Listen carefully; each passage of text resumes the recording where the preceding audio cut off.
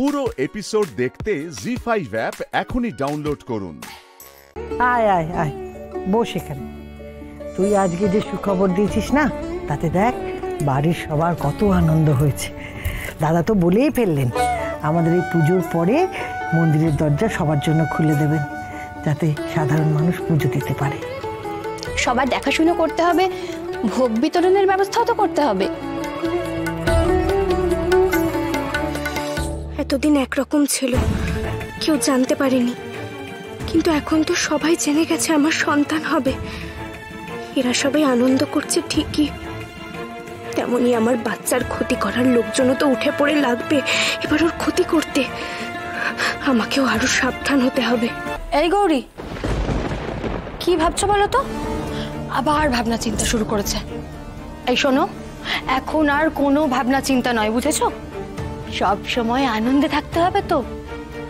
আর তুমি দেখে নাও তো, দেখে নাও, সমস্ত ঠিকঠাক আছে কিনা দেখে নাও, আমরা সবকিছু পেরেছি কিনা তুমি দেখে নাও, বুঝেছ? তোমরা তো সব কাজই করে ফেলছো গো, আমি কি করব? শোন, সমস্ত কাজের দায়িত্ব এখন থেকে আমাদের। তোকে আর কোনো কাজ করতে হবে না। তুই শুধু চুপ করে শান্ত হয়ে বসে থাক, তাহলেই হবে।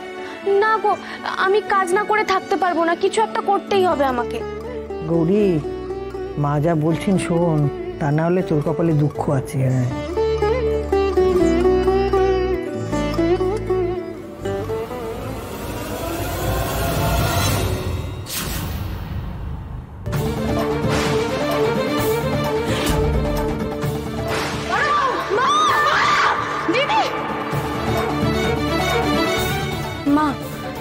তোমার সঙ্গে আমার একটা দরকারি কথা আছে।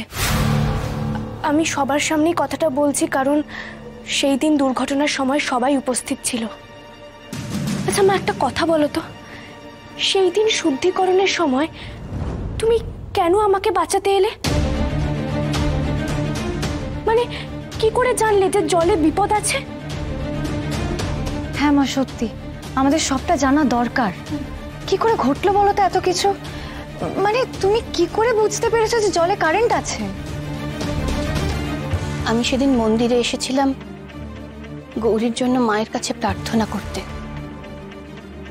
কিন্তু তারপর? মা তারপর কি হলো বলো না?